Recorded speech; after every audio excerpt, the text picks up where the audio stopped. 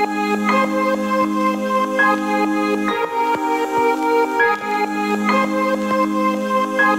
you.